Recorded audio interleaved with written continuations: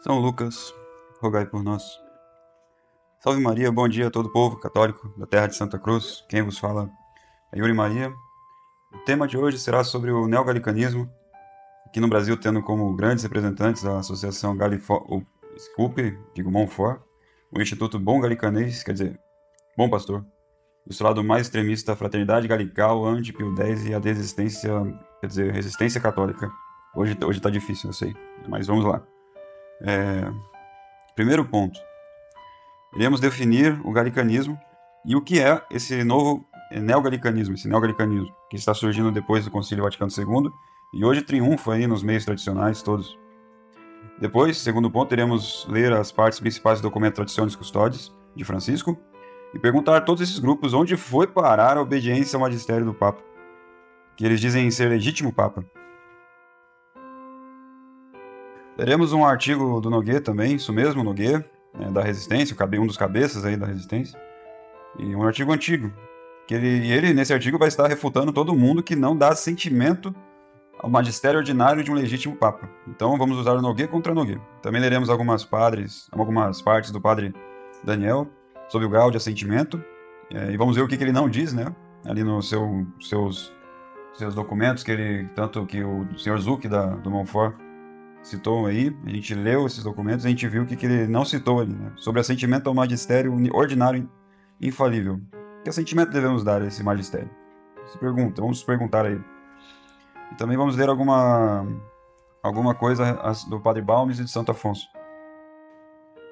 Vamos demonstrar o que são todos eles, são os novos fariseus, por, por fora parece que são católicos, mas por dentro eles odeiam e não servem ao Papa que eles dizem ser Papa. Eles tanto dizem ser legítimos que eles contradizem várias e várias doutrinas antigas e tradicionais e de sempre da Igreja a respeito do Papa. Nessa contradição de intelecto e vontade, graças à santa doutrina católica, os sete vacantistas, é, como somos comumente chamados, nós estamos livres dessas contradições. Né? Nós não precisamos é, ter no intelecto uma coisa e no coração outra. Precisamos ter essa, essa hipocrisia que eles têm. Pois estudando a doutrina católica corretamente, você vai ver que um herege não pode ser papa, de jeito algum. E uma das coisas muito interessantes de se notar é que esses grupos, todos eles fogem à, pergunta.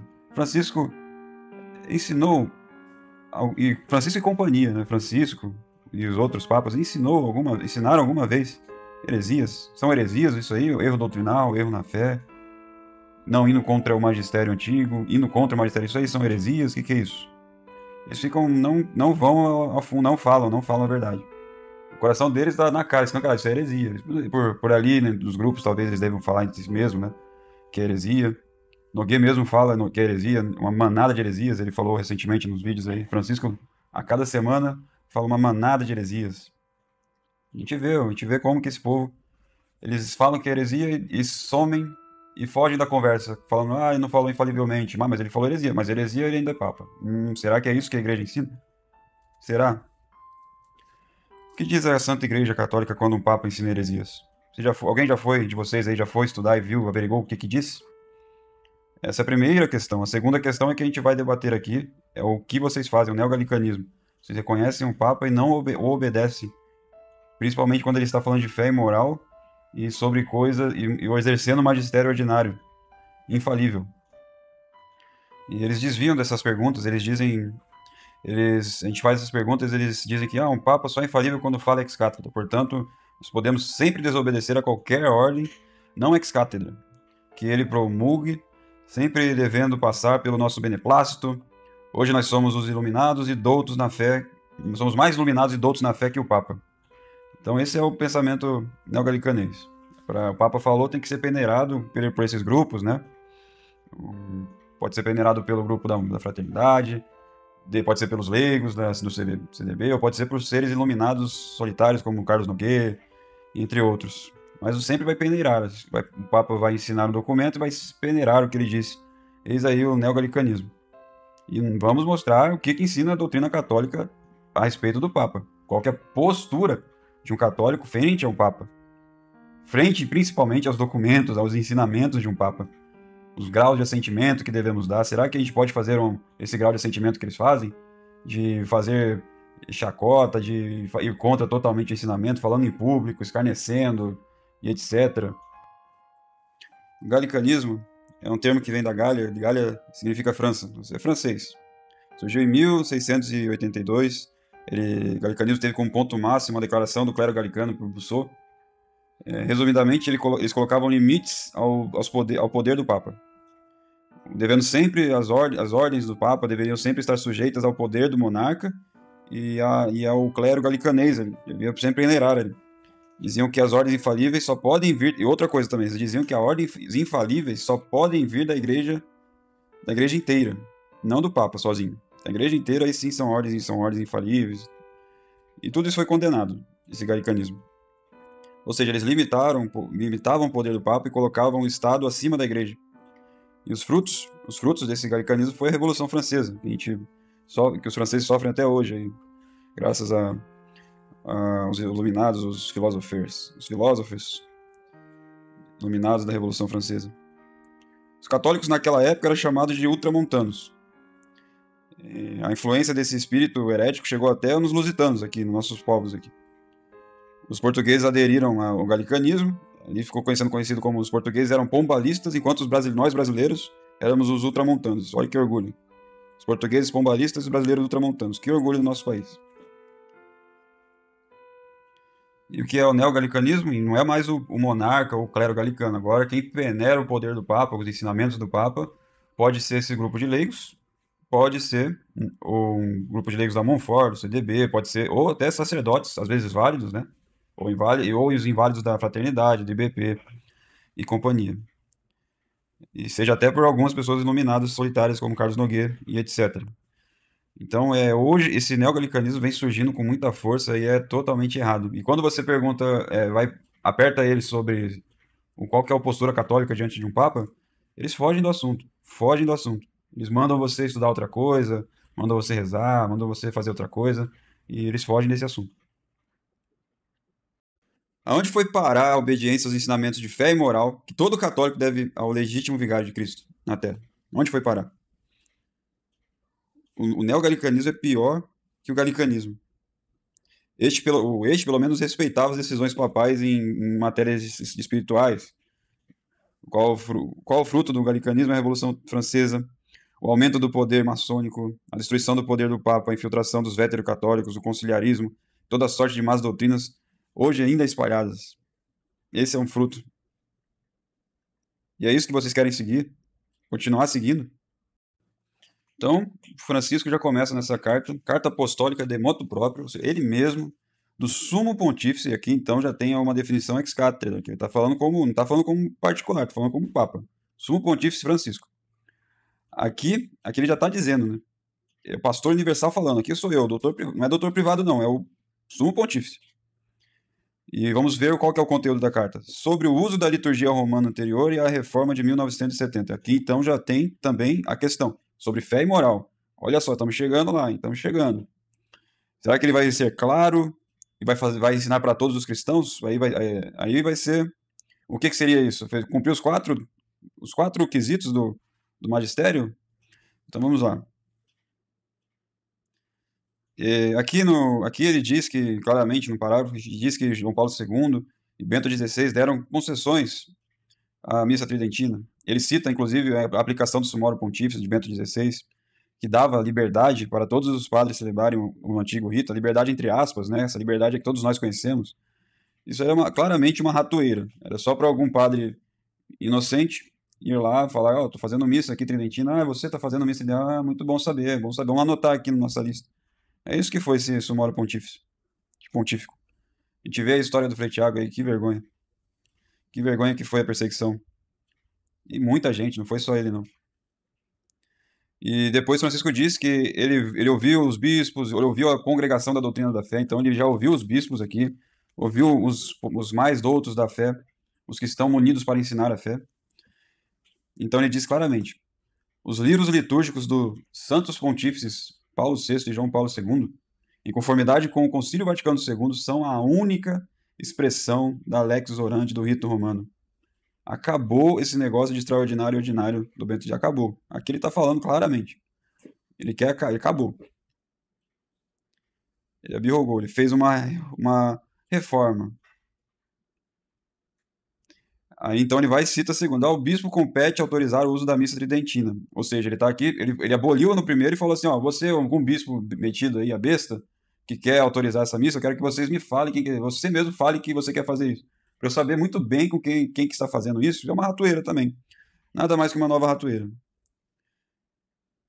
Os que têm grupo em diocese, ele fala aqui, ó, não podem de jeito algum criticar a missa nova.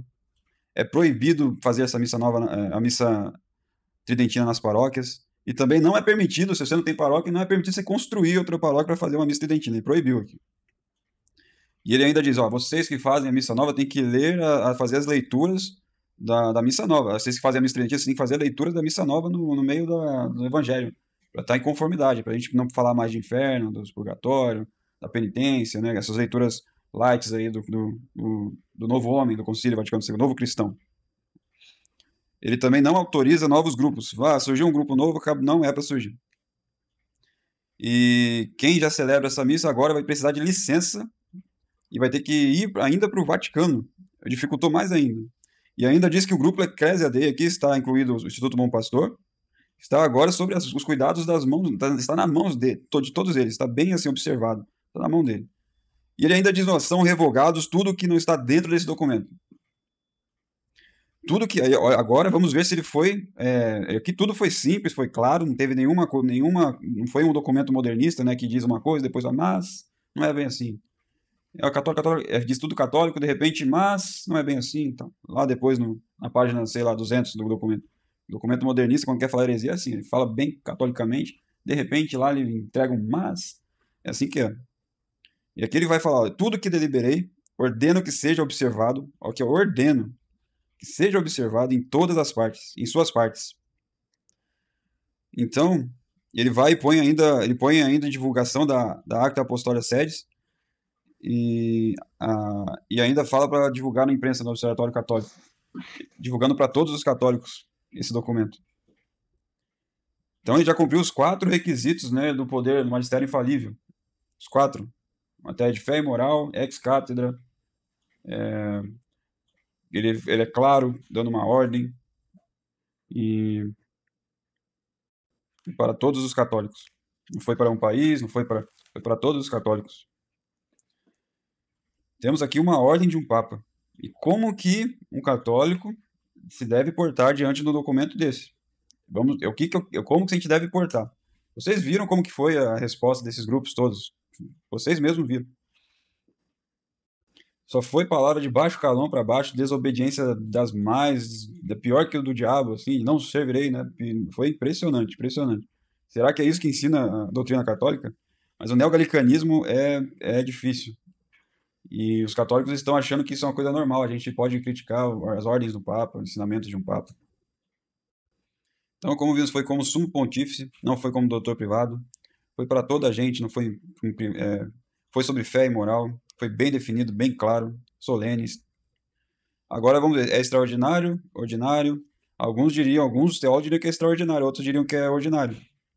Mas mesmo assim, vamos supor que é ordinário. Será que tem, eles têm ainda, eles podem desobedecer o magistério ordinário? Será? Então, a resposta é não, não podem. Então, eles falam tanto, né? vamos recapitular de novo. Ex-cátedra, sim. Falou como pastor e doutor. Definiu algo? Sim. Revogou as doutrinas anteriores, colocou, colocou normas. Foi de fé e costume? Foi, foi uso da missa. E sobre normas. Quis obrigar a toda igreja? Quis obrigar a toda igreja, é claro, não precisa. A gente sabe que não precisa ter um anátema, uma definição de heresia somente. Mas alguns dirão que foi ordinário. É, foi, foi no seu magistério ordinário. E o que ensina a igreja quando o Papa fala ordinariamente? Assentimento intelectual. É isso que ordena a igreja. Você tem que aceitar o que ele falou. Mas é de qual é a diferença quando o Papa fala extra, é, no magistério extraordinário e no ordinário infalivelmente? No extraordinário é um dogma de fé, você nunca mais vai poder, você vai ter que acreditar naquilo e nunca e é irreformável. Não tem mais como ter reforma. Acabou. Dogma da Imaculada Conceição, irreformável. Magistério extraordinário solene. O ordinário nesse presente momento, no atual momento, quando você está vivendo, enquanto tem esse Papa, você tem que você é obrigado a observar, dar sentimento total, absoluto. Mas, se vamos supor que um outro Papa venha e revogue isso, e mude, você vai ter que obedecer esse Papa. Não é um, não é, não é que é irreformado. É reformado, mas só no futuro. Mas no atual momento você tem que ter total assentimento. Entendeu o que, que é a diferença? Então, é simples assim. A todos os, os o magistério ordinário ou extraordinário, você deve obedecer. É simples assim. Quando que você pode desobedecer e de qualquer forma de desobedecer, digamos, não é desobedecer, de não dar assentimento a algum ensinamento né, do Papa, do Papa ou da, do seu magistério, quando que não? Aí vamos explicar isso daqui. O que diz o tratado, o tratado Manual de Apologética do Boulanger. Eu, eu, é um livro que eu pego aqui, obras católicas, convido a todos vocês lerem também. É um livro muito bom. Para todo católico aprender essa doutrina, tem ali muito bem resumidinho, e para também desmascarar esse povo, esses neogalicanos. Quando que você pode não dar assentimento? É na forma do magistério ordinário indireto do Papa. O que, que significa isso? É quando as congregações do rito da fé, por exemplo, que é uma coisa criada pelos quem foram os cardeais nomeados pelo Papa, foi nomeado pelo Papa. Quando você, quando eles, existem duas formas do, do Papa fazer essa forma indiretamente, em forma comum e em forma especial, em forma comum e em forma especial. Em forma comum, em forma especial, é quando o Papa vai lá junto com essa congregação e faz um documento, ele lê, ele fala, ele fala solenemente, assina embaixo o que, a, o que essa congregação falou, isso aí é em forma especial. Isso daí você tem que obedecer, tem que dar assentimento também. Em forma comum é quando o Papa não, não lê o documento, só confia na, na congregação, faz aí, cuida aí, eu confio, do, confio em vocês. Aí a congregação vai e solta um documento. Aí você, nesse documento, que aí sim, em forma incomune, é o magistério ordinário é, indireto do Papa, esse daí você pode é, não dar assentimento. E qual é a forma de você não dar assentimento a isso? Você pode sair gritando a, a todos os quatro cantos que você não. Que, não, você tem que fazer você tem que dar uma prudente adesão. E você tem que, tem que ter uma razão grave e tem que mandar essa, essa uma, um pedido para a congregação explicando o porquê da sua uma, uma explicando uma carta assim para você é, receber dela respeitosamente expor respeitosamente a sagrada os motivos que você por que você está com dúvidas ou por que você não está aderindo. Mas você jamais jamais pode fazer denunciar em nada. Então essa é a forma de você prestar assentimento de não prestar assentimento. Você tem que ser todo educado, mandar uma carta privada. Olha, não tenho dúvida disso, disso. Congregação, por que, que vocês escreveram isso? Por exemplo, eu poderia fazer uma, uma se eu fosse um bispo, alguma coisa, eu poderia fazer uma carta e mandar no tempo lá de, de Pio XII uma carta. Por que, que vocês estão mudando o rito da Semana Santa? Como foi muita gente que fez isso? Se você pesquisar, teve muita gente que fez isso. E ninguém ficou assim, espalhando aos quatro cantos e, e o que faz esse grupo todo, né, da, da Monfort, esse grupo do, da resistência, da fraternidade. Isso daí que eles fazem não é católico. Pode ter certeza. Se eles acham que Francisco é papa, se é papa, isso que eles fazem não é católico. Eles estão piores que os luteranos, que os protestantes. Só duas, só duas formas para não dar assentimento absoluto. Então aqui a gente tem, quer dizer, três formas. Tem que ter esses quesitos, então.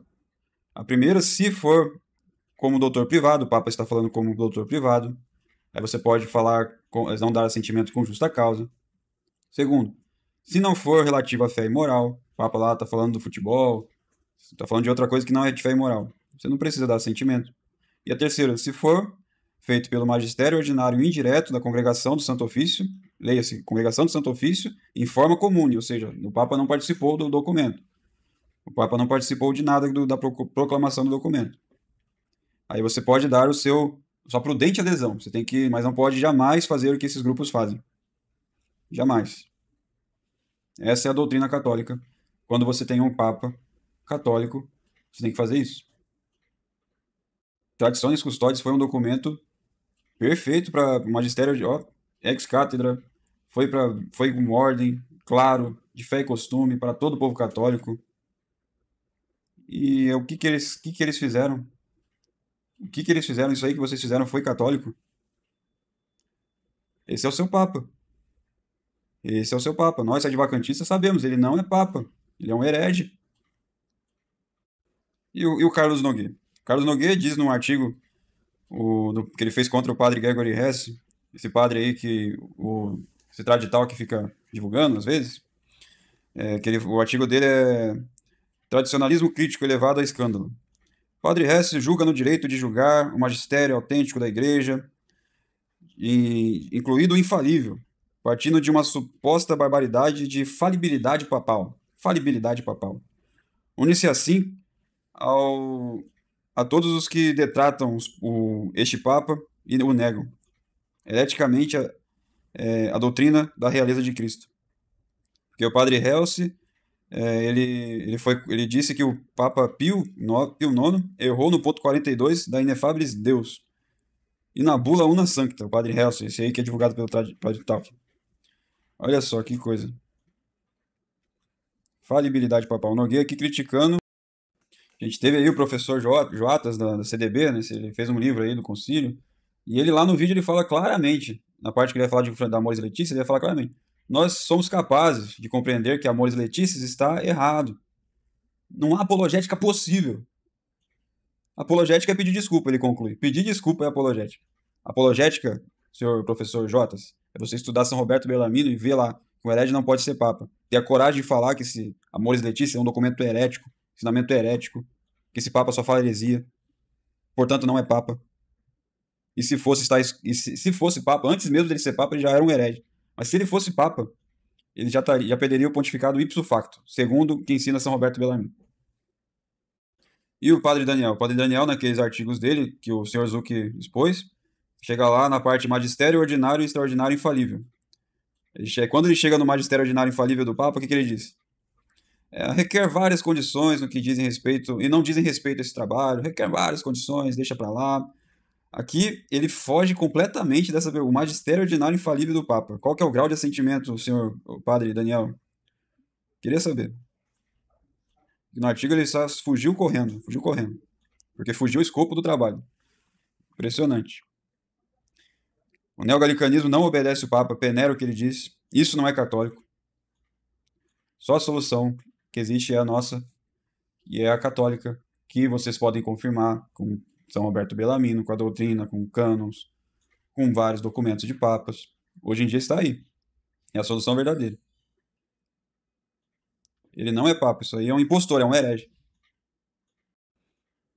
Ai de vocês, mestres da lei e fariseus, hipócritas.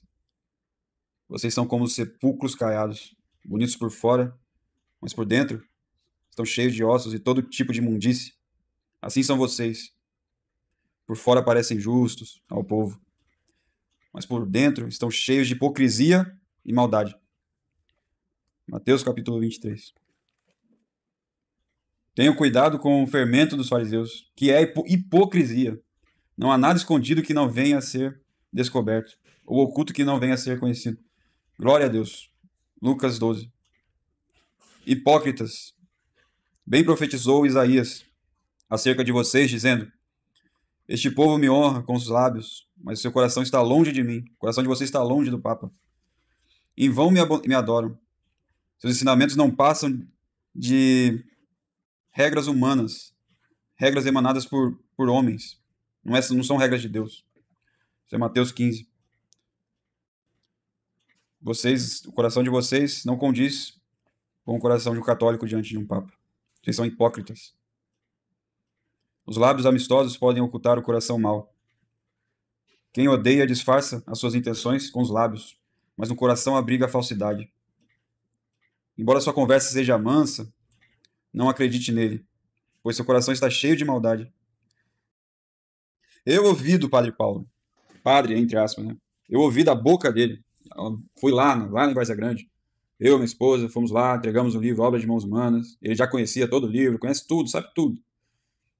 Eu ouvi da boca dele. Francisco é o anticristo. Eu sabia quando Francisco subiu ao trono, era o anticristo que estava na cátedra.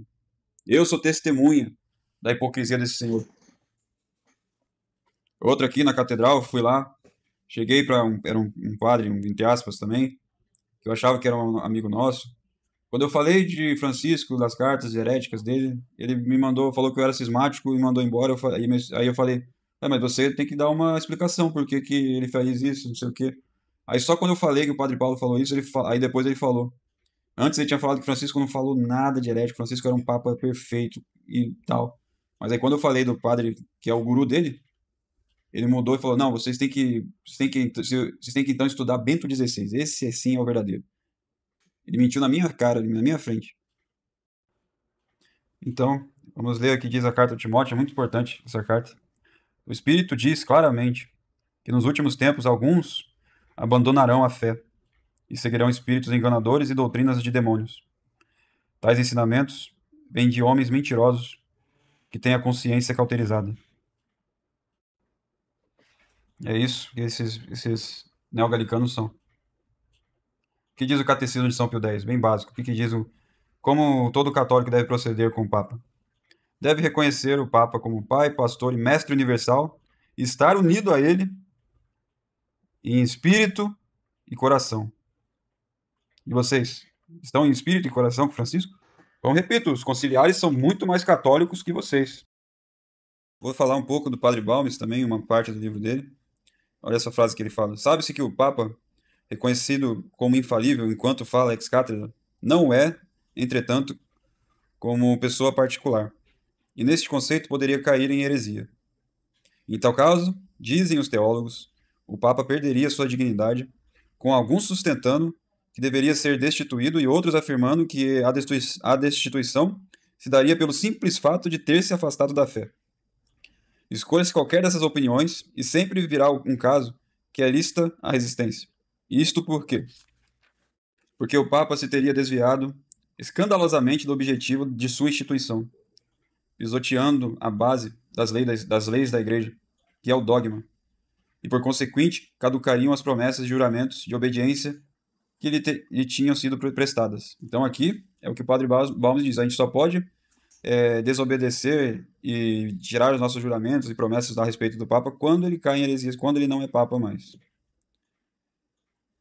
Spedarelli, ao propor este argumento, observa que certamente os reis não estão em condição melhor que os papas, que a uns e outros foi concedido o poder in edific edificatione, non in em edificação e não em destruição, acrescentando que, se os sumo pontífices permitem esta doutrina em relação a eles, não devem ofender-se com as mesmas os soberanos temporais. Então aqui tem uma doutrina a respeito. Até o padre Balmes conhecia, todos os católicos conhecem. O padre falou heresia não é mais papa. Um papa falou heresia não é mais papa. Então não tem nada de novo. O padre Balmes aqui falando.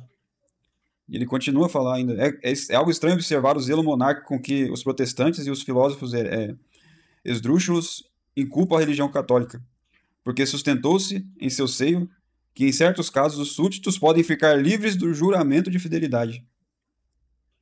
Então, o que, que ele diz? O poder não lhe foi dado para destruir, mas para edificar. O poder do Papa não é para destruir, mas para edificar.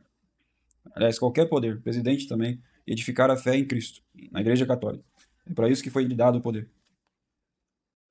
E por último, no História das Heresias e suas refutações de Santo, Santo Afonso, é, vou ler uma parte aqui muito bonita também. Da autoridade. A fé só pode ser uma, pois, sendo invisível, companheira da verdade, como a verdade é uma só, assim também a fé só pode ser uma. A Igreja Romana foi fundada por Jesus Cristo. A ela prometeu sua assistência. Foi fundada por Jesus Cristo. E a ela prometeu sua assistência até o fim do mundo. E a esta igreja, como dizia São Pedro, não será jamais destruída pelas portas do inferno. Por essas portas, como explica Santo Epifânio, se entendem as heresias e os heresiarcas. Portanto, em todas as dúvidas de fé, devemos submeter-nos às declarações dessa igreja, vinculando nosso juízo ao juízo dela em obediência a Cristo, que nos manda obedecer à igreja. E mais adiante ele vai falando de concílio. É o caso dos luteranos e dos calvinistas, quando dizem que os concílios gerais não são infalíveis. Eis que falava Lutero no artigo 30 dos 41 artigos condenados temos caminhos abertos para questionar a autoridade dos concílios e julgar seus decretos e confessar com confiança o que nos pareça verdade, quer tenha sido aprovado, quer tenha sido reprovado por algum concílio. Calvino diz que todos os concílios, por mais santos que sejam, podem errar no que se, no que se refere à fé. É só você trocar concílio por papa aqui e você verá o que é o neogalicanismo. E que espírito, de onde vem esse espírito, você vai ver. Aqui então vamos refutando que Santo Afonso cita a Faculdade de Paris, censurou esse artigo, dizendo: é de certo que concílios gerais reunidos legitimamente as definições de fé e moral não podem errar. deve-se considerar de fé que os concílios gerais, no que se refere aos dogmas e aos preceitos morais, não podem errar. E Santo Afonso continua: infalíveis são só os concílios gerais legítimos assistidos pelo Espírito Santo. Como pode se dizer legítimo e assistido pelo Espírito Santo? Um concílio que condena Cristo como blasfemador, e em que se procedia com engano, subornando as testemunhas, se agindo por inveja, como reconheceu o próprio Pilatos, o próprio pagão reconheceu, os pagãos, os pagãos conheciam, reconheciam sobre um concílio de Barrabás, o julgamento de Jesus Cristo. Não foi isso que eles fizeram no Concílio Vaticano II? Jogaram tudo fora. Não mudaram a igreja. Mas a fé permaneceu. Em alguns poucos padres e bispos, a fé permaneceu intacta. E seguiu-se naquela confusão, Deus iluminando as pessoas, as pessoas tentando entender as coisas. Hoje, como a gente tem com muita facilidade, com vários documentos, são muito mais, é muito mais acessível a nós do que era para eles naquele, naqueles tempos. Existe uma só única solução para tudo isso, e a solução do sede vacantismo e a solução de São Bernardo. Nós iremos depois explicar como se dará a, a restauração da crise dessa, da igreja, no meio, no, na forma extraordinária, mas desde já saiba que precisa-se de muita coragem, precisa de muita oração, porque a gente tem que pedir muito mais fé, muito mais força. Porque o que exige de nós é que, de tudo isso, é que a gente estude melhor o que é o papado, porque nós fomos ingratos aos ensinamentos do Papa, e esse é o nosso castigo. Nós ficamos sem Papa. E você vai estudar, vai ficar muito mais aprofundado no que é o papado. E o quão, quão faz falta um Papa legítimo. Quanta falta faz. Olha a bagunça que está o mundo hoje. É preciso ter muita coragem para tomar a decisão correta e lutar e seguir, que a vontade de Deus é essa. E Ele está nos chamando a essa luta. Está nos chamando a denunciar essa igreja falsa, pecadora, herética, que promulga toda sorte de erro, destruindo a fé. E o que faz esse neogalicanismo é um pecado dos mais graves, porque é graças a esse tipo de pensamento que essa solução vai, vai se estendendo, vai demorando, mais almas vão se perdendo. E graças a ele, porque eles reconhecem como legítimo um herege. Eu faço retórica a pergunta: vocês neogalicanos, por que vocês não, vocês que se dizem católicos tradicionais, por que vocês não estão unidos em espírito e coração com o vosso Papa? Os conciliares, neste ponto, são, repito, muito mais católicos que vocês. Vocês estão piores que os luteranos. Pedro fala: as ovelhas escutam e obedecem. É isso. Salve Maria. Bom dia a todos. Que a glória e a vontade e a verdade de Deus triunfem em vossos corações. Pois a messe é grande. E vocês, neogalicanos, vocês que reconhecem e resistem, tomam essa posição toda errada vocês estão atrasando a solução da igreja.